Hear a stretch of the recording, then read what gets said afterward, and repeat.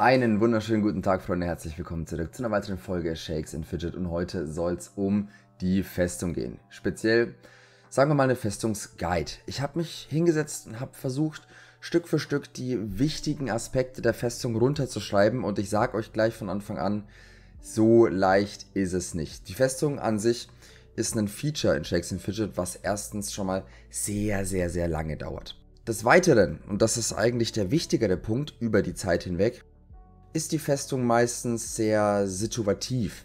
Das heißt, man müsste, wie jetzt zum Beispiel hier sieht man diese ganzen Feuerwerke, öfter mal auf Events achten und muss dahingehend Decisions machen. Man hat unterschiedliche Spielstile. Pilzt man, pilzt man nicht, levelt man schnell, levelt man eher langsam und das muss alles ein bisschen angepasst werden, beziehungsweise die Festung muss auf den Spielstil angepasst werden.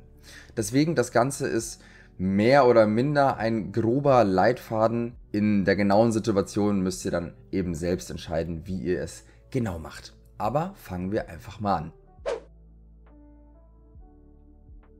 Das Early Game der Festung, wir haben Stufe 25 erreicht und das ist der erste Zeitpunkt, ab dem wir die Festung freischalten können. Haben wir das gemacht, können wir uns auch ein Pilzpaket aufladen, was neben den normalen Paketen auch nochmal deutlich mehr rentiert. Aber da sind wir jetzt auch wieder beim Punkt, gibt man Geld aus, gibt man kein Geld aus. Wir gehen mal kurz davon aus, man gibt Geld aus und dann bekommt man direkt von Anfang an 100.000 Holz und 50.000 Stein. Es ändert jetzt aber auch nichts, wenn ihr das Paket nicht kaufen solltet, ist das Vorgehen jetzt halt im Early Game, sage ich mal, das gleiche. Anfangen tut ihr nämlich, indem ihr die Festung, das Arbeiterquartier, Holzfällerhütte und Steinbruch sowie die Kaserne ausbaut. Das Ganze habe ich jetzt mal so eingeteilt. Wir gehen Festung 8, wir gehen aufs Arbeiterquartier 8, genauso wie Holzfällerhütte, Steinbruch und die Kaserne irgendwie zwischen 6 und 8. Das Ganze macht ihr nicht der Reihenfolge nach, sondern immer wieder durchgehend. Das heißt, ihr zieht die Festung auf 1, das Arbeiterquartier auf 1, die beiden hier die Kaserne. Dann geht ihr auf die Festung 2. Dann direkt das Arbeiterquartier 2. Das hat folgenden Vorteil. Das Arbeiterquartier zieht euch ja Bauzeit ab. Falls ihr jemand seid, der mit Pilzen skippt, spart ihr euch Pilze. Ne? Weil die Dauer gibt an, wie viel Pilze ihr ausgeben müsst, um zu überspringen. Und wenn die Dauer natürlich weniger ist, sind auch die Pilzausgaben weniger. So viel schon mal dazu. Wenn ihr nicht pilzt, dann ist es auch genau das gleiche Prinzip. Ne? Ihr wollt ja schnellstmöglich ausbauen und dementsprechend schauen wir einfach, dass von Grund auf die Ausbauzeiten sehr, sehr kurz sind. Deswegen dieser, dieser Gebäudekomplex hier wird zusammen hochgezogen. Allein mit dem Festungspaket könnt ihr die Festung so, so ungefähr auf 8 bauen, Arbeiterquartier auf 7, Holzfäller Steinbruch auf 7 und die Kaserne hier auf 6. Ich habe mir das eben mal ausgerechnet, das kommt ungefähr hin und dann zieht ihr eben noch weiter, bis hier alles auf 8 ist. Die Mine fangt ihr auch direkt von Anfang an auszubauen, aber bitte, bitte, bitte nur auf 1. Ihr werdet am Anfang in den Genuss kommen, dass euer Equipment sehr, sehr schnell durchrotiert. Ihr werdet sehr schnell neue, bessere Gegenstände finden und damit man einfach nicht so viel Zeit, A, oder B, Pilze verschwendet, wenn man es gibt, lassen wir das ganze Ding auf 1. Es wirklich, es rotiert so schnell alles durch. Ihr profitiert am Anfang mehr davon, wenn die die Suchkosten für Edelsteine erstens gering sind und natürlich auch die Dauer für die Suche sehr gering sind. Nun kommen wir ins Midgame, wenn man so sagen kann. Das muss jetzt nicht unbedingt eurem Spielfortschritt entsprechen, sondern es geht hier wirklich lediglich um die Festung. Das Midgame der Festung habe ich einfach so betitelt, ist so Stufe 8 bis 15 ungefähr. Dementsprechend gehen wir rein. Festung kommt in dem Bereich auf Stufe 15 in Kombination die ganze Zeit, ne, wird das Arbeiterquartier mit hochgezogen, auch bis Stufe 15. In dem Moment, wenn ihr dann soweit seid, habt ihr das Arbeiterquartier auch schon gemerkt. Das heißt, ihr könnt nicht mehr Bauzeitverringerung erreichen. Die Holzfällerhütte und den Steinbruch, den werdet ihr ungefähr auf 10 ziehen. Das passt dann soweit. Die Kaserne, das ist jetzt so eine Sache. Wir hatten die davor so irgendwas zwischen 6 und 8 gezogen. Jetzt würde ich sagen zwischen 6 und 8 vielleicht sogar auch 8 und 10, je nach Motivation. Die Kaserne beinhaltet ja einfach nur oder beherbergt ja einfach nur eure Soldaten. Wenn ihr jemand seid, der sehr, sehr gerne sehr viel angreift und zum Beispiel dann über Nacht möglichst viele Soldaten sammeln möchte oder halt auch allgemein immer, wenn er angreift, sehr viele Soldaten bereit haben möchte, dann zieht die durch ein bisschen hoch. Wenn ihr eher so ein entspannterer Spieler seid, könnt ihr die, ja, ich würde sagen, so ungefähr auf 8 lassen. Jetzt Midgame von der Festung kommt aber dann schon ungefähr vom Level hin, dass ihr so langsam aber sicher die Unterwelt freischalten könnt. Dementsprechend, um die Unterwelt freizuschalten, und da geht es auch wieder auf Zeit, dementsprechend müsst ihr da auch recht früh hinterher sein, braucht ihr die Edelsteinmine Stufe 10. Das ist jetzt so eine Sache, ihr müsst ein bisschen abschätzen. Die Unterwelt schaltet ihr frei, erstens Stufe 10 vor der Edelsteinmine und zweitens nach Abschluss von Dungeon 1 bis 9. Ihr müsst jetzt also ungefähr abschätzen, wann ihr mit Dungeon 1 bis 9 fertig seid. Ich weiß es gerade nicht zu 100%, ich würde sagen ungefähr in dem Bereich Level 130, Level 140. Das heißt, plant das schon mal mit ein. Die Edelsteinmine hat ja natürlich auch eine Ausbauzeit. Nicht, dass ihr dann das Level habt, beziehungsweise die Dungeons abgeschlossen habt und eure Edelsteinmine ist noch Stufe 1 und ihr denkt euch, oh verdammt, jetzt muss ich erstmal noch 10 Tage Edelsteinmine ausbauen, dass ich an das Herz der Finsternis komme. Das wäre schlechtes Timing, versucht das auf jeden Fall zu verhindern. Stufe 10 ist aber auch das Max, ihr geht nicht weiter, ihr bleibt hier, ihr macht das Ganze wirklich nur wegen dem Herz der Finsternis. Schatzkammer und Akademie haben wir uns noch gar nicht angeschaut und da wäre mein Tipp an der Stelle, macht einfach so, dass es nicht wehtut. Nicht so wie hier, hier ist gerade ein schlechtes Beispiel, aber wir sehen, wir haben hier so knapp 400.000 Holz, 122.000 Stein für den Ausbau und die Akademie, die kostet gar nichts. Ja, dementsprechend, das ist genau das, was ich meine mit, wenn es nicht wehtut, dann klickt auf Bauen. Hier wäre das gleiche 14.000 und hier 5.000, ne, so um den Daumen rum. Die sind, das ist nicht so teuer. Das Ganze dauert hier um die 6 Stunden. Nehmt das dann ruhig mit. Vielleicht ist es ja sogar so ein Zeitpunkt wie jetzt hier. Ich bin am Farmen und möchte jetzt demnächst die Festung auf Stufe 11 machen, habe aber noch nicht die Ressourcen. Bevor ich jetzt halt wirklich gar nichts auf Ausbau lasse, ja, ziehe ich einfach mal die Schatzkammer oder die Akademie ein bisschen nebenbei hoch, farm nebenher weiter meine Ressourcen und wenn dann die Festung, also wenn die Ressourcen zusammen sind für Festung Stufe 11, dann gehe ich direkt wieder weiter in die Festung. Also die beiden Sachen hier zieht ihr mit, solange es von den Ressourcen her nicht allzu sehr weh Wir befinden uns nun im Late Game der Festung und konzentrieren uns dabei eher auf diese drei Gebäude hier. Die Mine lassen wir, Arbeiterquartier haben wir eh gemaxt, Holzfäller, Steinbruch lassen wir ebenfalls und die Kaserne ist irgendwas zwischen 6 und 10. Jetzt schauen wir, dass wir eben diese drei Gebäude hier ein bisschen hochbekommen. Main Fokus liegt in dem Bereich meiner Meinung nach stumpf auf der Festung. Das hat den Vorteil, dass wir, wenn wir ein Festungsevent haben, hier immer, also bei den, bei den Quests, hier immer höhere Ressourcenpakete bekommen. Bei Dr. Abawubu hier, der gibt ja auch hier Holz und hier Stein.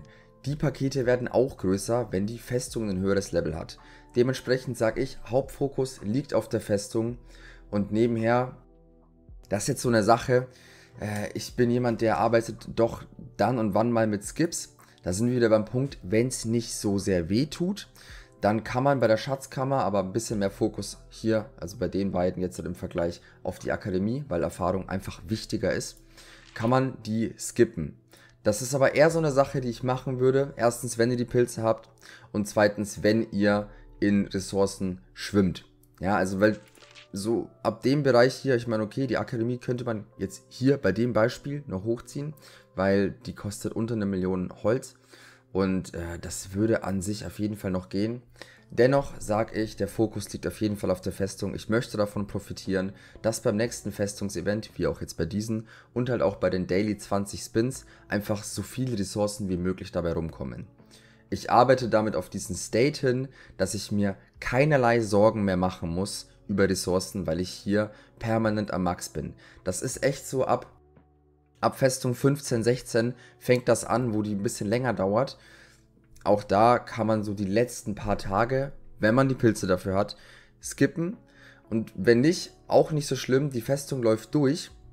Und in der Zeit farmt ihr Unmengen an Ressourcen, sodass ihr eigentlich wirklich Festung nach Festung nach Festung nach Festung ausbauen könnt. Das, ihr merkt das dann ab 15, 16 ist das irgendwann kein Thema mehr, hier an die Ressourcen zu kommen. Grundvoraussetzung ist natürlich, dass man die Spins halt wahrnehmen kann. Und, das ist das, was ich halt am Anfang gesagt habe, es kommt auch so ein bisschen auf die Events an. Wenn ihr auch jetzt halt schon wisst, da gibt es online, kann man einfach nachschauen, äh, einen Eventkalender, der euch angibt, was die nächsten Events sind, dann könnt ihr so ein bisschen schauen, ja, okay, mache ich jetzt die Schatzkammer hoch, mache ich jetzt die Akademie hoch, in fünf Tagen haben wir Festungsevent oder in zwei Wochen haben wir Festungsevent. Vielleicht baue ich jetzt lieber die Festung aus, damit ich dann da mehr Ressourcen ergattern kann. Das sind so diese, diese situativen Sachen, die ich meinte. Wenn nicht, okay, ich habe gerade Bock, mehr auf Erfahrung zu gehen, weil Erfahrung einfach so wichtig in diesem Spiel ist, um mir vielleicht auch einen Vorteil gegenüber anderen Spielern zu, zu holen, die nicht die Festung so weit gepusht haben, die vielleicht nicht auf die Akademie gehen. Dann gehe ich eher auf die Akademie. Also das sind so Sachen, wo ich sage, da müsst ihr ein bisschen schauen, was sind die nächsten Events, was macht jetzt halt mehr Sinn. Will ich eher auf die Ressourcen gehen, dass ich im Nachhinein weniger Stress habe? Ja, so zur Strat. Man könnte an der Stelle noch hinzufügen, wenn man vielleicht nicht die 20 Spins macht und vielleicht auch nicht die Pilze investieren möchte, an Eventtagen, also am Festungsevent, 10 Bier zu trinken, dann äh, macht diese Strategie vielleicht auch nicht so viel Sinn.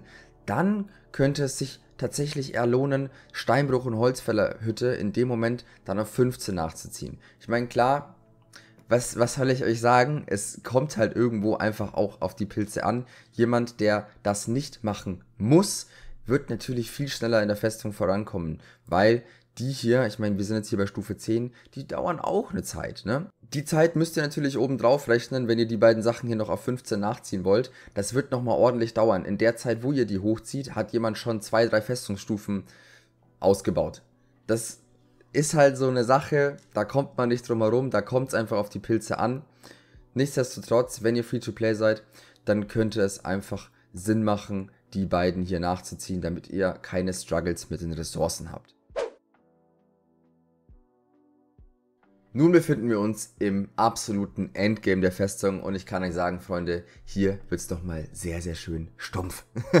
also, wir gehen rein. Festung ist Stufe 20, wir haben das Arbeiterquartier gemaxt und als nächster Punkt ist es wichtig, die Akademie hochzuziehen. Erfahrung ist sehr wichtig und irgendwann im Spiel kommt, wenn ihr die Taktik fahrt, die Dungeon Pause. Dungeon Pause ist ein Bereich, wo ihr keine Dungeons mehr nehmt und nur noch Erfahrung über die Quests, über das Glücksrad, über Arena und hier auch die Akademie bezieht. Das Ganze ist nochmal ein Thema für ein anderes Video. Allerdings, wir wollen sehr schnell raus aus der Dungeon Pause und selbst wenn ihr sie nicht spielt, wollt ihr einfach sehr schnell leveln und dafür ist die Akademie einfach sehr wichtig. Ja, auch wenn ihr das wieder jetzt in, in Comparison seht zu anderen, es ist ja ein sehr kompetitives Spiel. Wir wollen schneller leveln als andere, deswegen versuchen wir die Akademie schnell auszubauen und zu maxen. Hier auch beim Erfahrungsevent gibt es mal 2 XP das hat hier also auch nochmal so einen kleinen Impact. Und danach wird es nochmal ein bisschen interessant, weil dann steht die Überlegung offen, ziehen wir jetzt die Schatzkammer hoch oder ziehen wir die Edelsteinmine hoch. Und ich kann euch sagen, es ist erst die Edelsteinmine.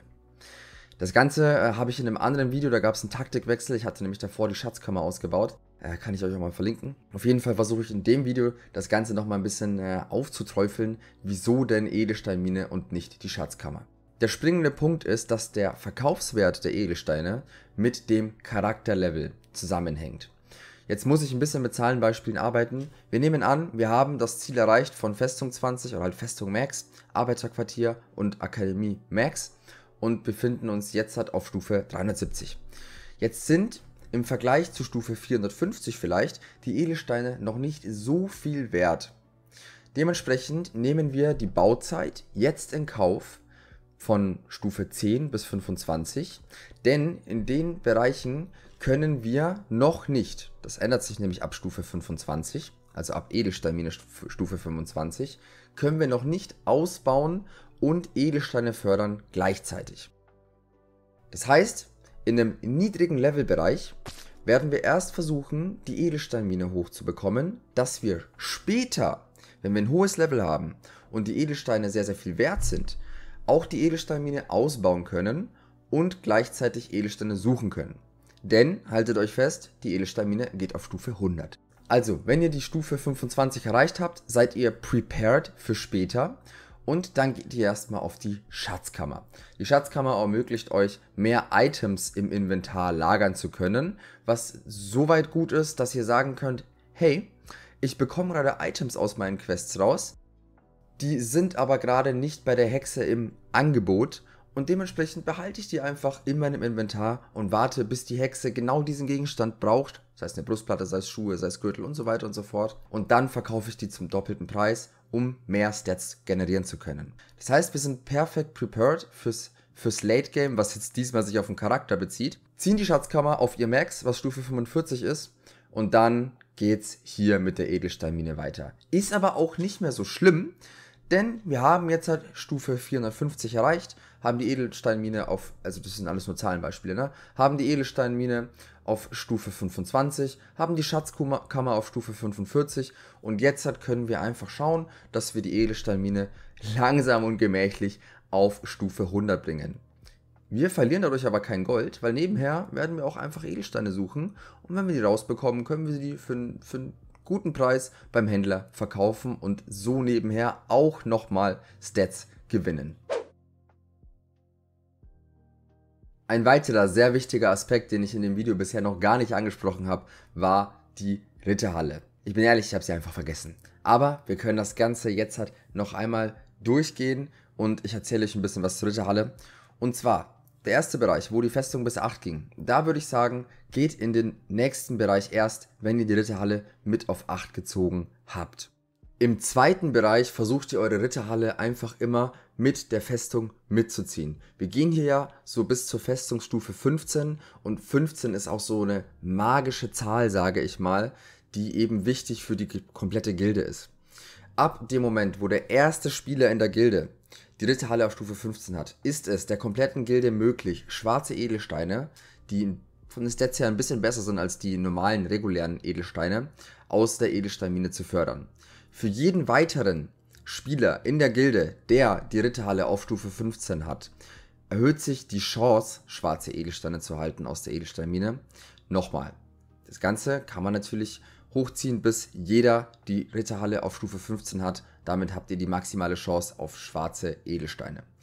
Ungeachtet dessen ist natürlich die Ritterhalle auch insofern wichtig, da die Stats, die die Edelsteine haben, sowohl vom Charakterlevel als auch von den Ritterhallenpunkten der gesamten Gilde abhängen. Dann ist es natürlich selbst erklärend, dass man versucht, dass jeder Spieler seine Ritterhalle so weit wie möglich nach oben pusht, damit die Gilde einfach als gesamte Gilde sehr gute Edelsteine rausbekommen kann. Befinden wir uns im dritten Bereich, wird es nochmal ein bisschen spicy, was die Ritterhalle angeht. Da könnte es helfen, sich mit der Gilde abzusprechen. Da könnte es helfen, so Referenzen von anderen Mitspielern aus der Gilde zu ziehen. Und zwar gibt es jetzt hier so zwei Prinzipien, die auch wieder ein bisschen abhängig sind von wie viele Ressourcen stehen mir denn so zur Verfügung. Was ich ganz gerne mache, das ist auch wieder so eine Sache, da muss man ein bisschen auf die Gilde achten. Ich gehe gerne mal ein, zwei Schritte weiter, um es dann mit den vorherigen Schritten einfacher zu haben. Was meine ich damit?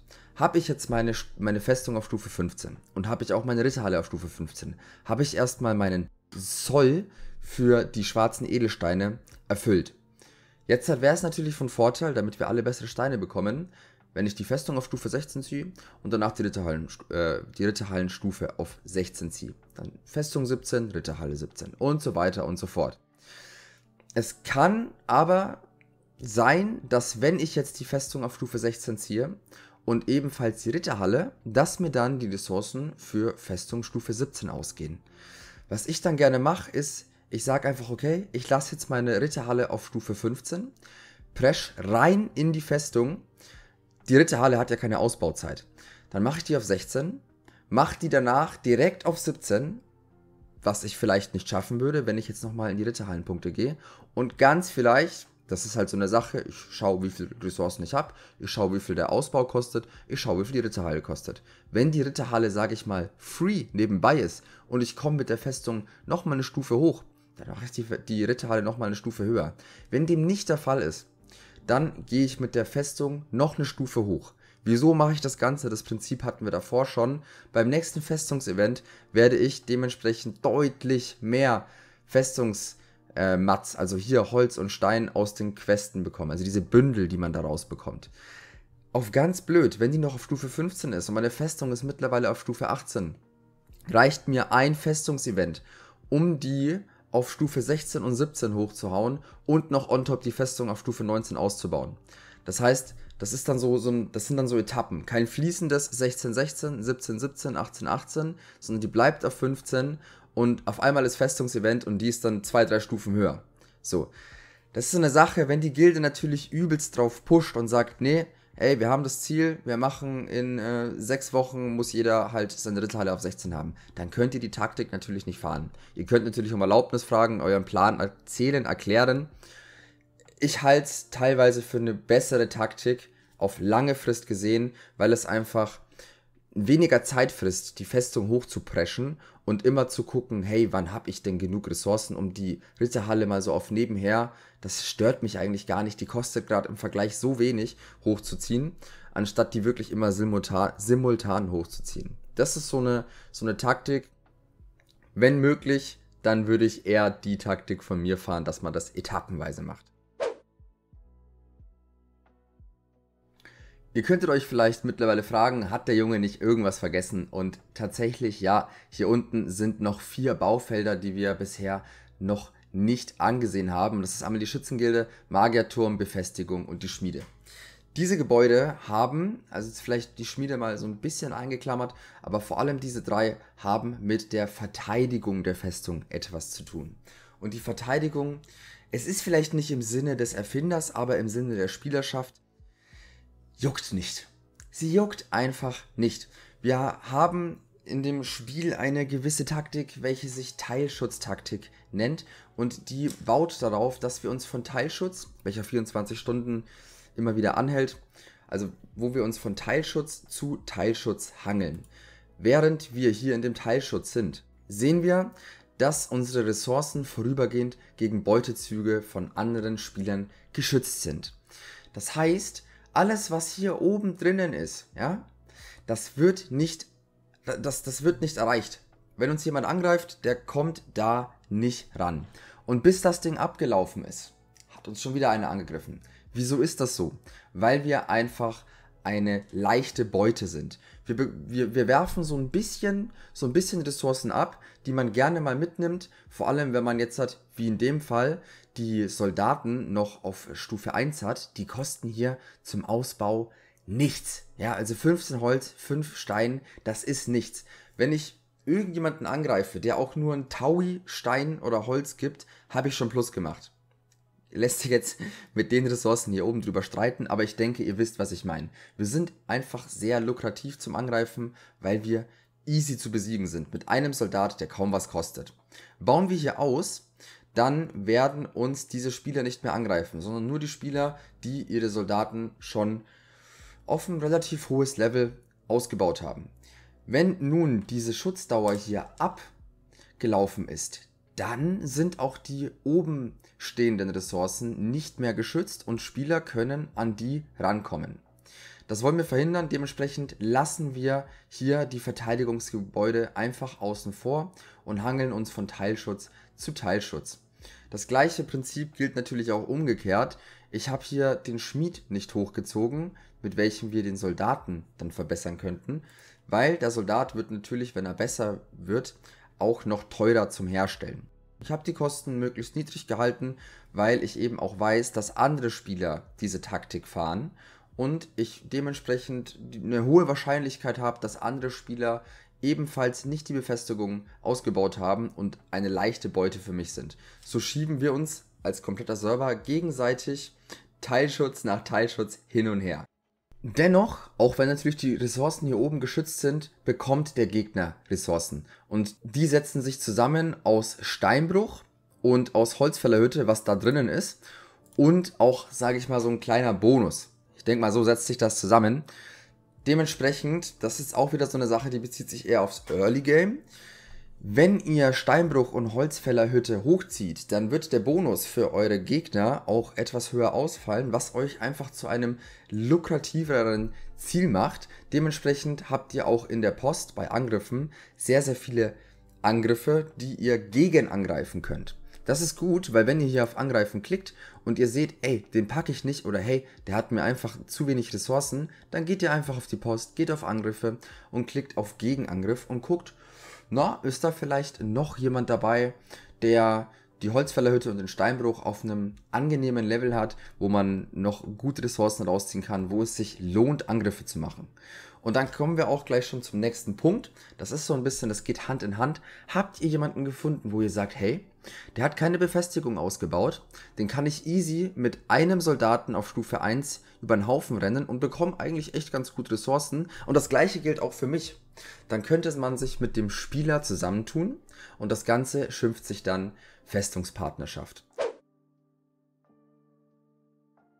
Das ist halt so eine Sache, da müsst ihr dann mit dem Spieler schreiben, der euch angegriffen hat, weil so könnt ihr die ganze Zeit Gegenangriffe starten. Das heißt, ich greife jetzt meinen Festungspartner an, der klickt auf Gegenangriff. Bei mir im Postfach ploppt ein neuer Angriff auf und ich kann auf Gegenangriff klicken. Und so kann man sich dann die ganze Zeit die Angriffe hin und her schieben und im besten Fall, um es natürlich auch fair zu halten, hat der, also haben beide Spieler die Holzfällerhütte und den Steinbruch auf dem gleichen Level, dass einfach beide gleich profitieren. Das Ganze hat natürlich auch so ein bisschen Bedingungen. Ihr müsst erstmal jemanden finden.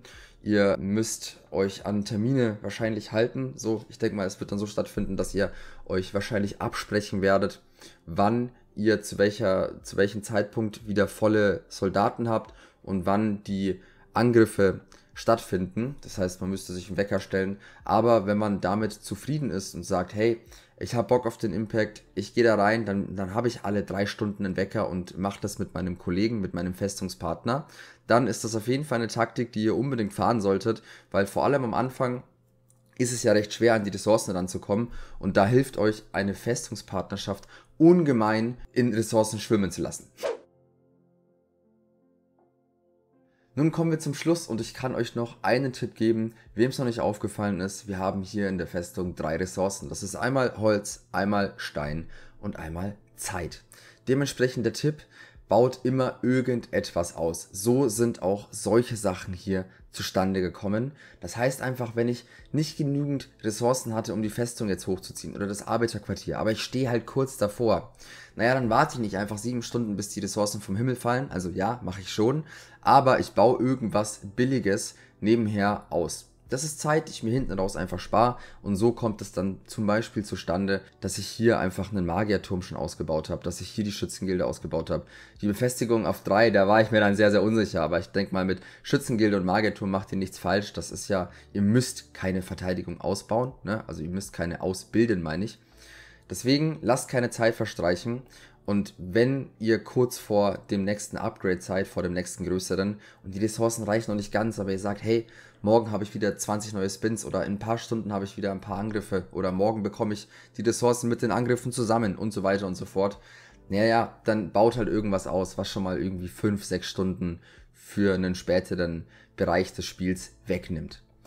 Ja, Freunde, ey, ich hoffe, ich habe euch einen guten Impact gegeben. Falls ich irgendwas vergessen haben sollte, schreibt es in die Kommentare. Falls ihr irgendwelche Anmerkungen habt, schreibt es in die Kommentare. Ich kann da auf jeden Fall noch auf Fragen eingehen. Vielleicht gibt es auch noch Gegenbeispiele von, von äh, Strategien, die Neulinge, wo jetzt einfach mal noch nicht so viele Berührpunkte mit dem Spiel haben, sich ebenfalls anschauen und anhören können, dann können wir gerne in den Kommentaren weiter diskutieren. Ich denke mal, für das Video als grober Überblick, ich habe ja am Anfang schon gesagt, es gibt nicht diesen einen spezifischen Weg, es ist eben teilweise situationsabhängig. Äh, kann man das Video aber schon mal sehr gut hernehmen, um einfach so eine grobe Idee zu haben, welche Richtung ich denn ungefähr gehen sollte, die Festung auszubauen. Ich bedanke mich fürs Zusehen und wir sehen uns einfach beim nächsten Mal wieder. Bis dahin, Freunde, macht's gut.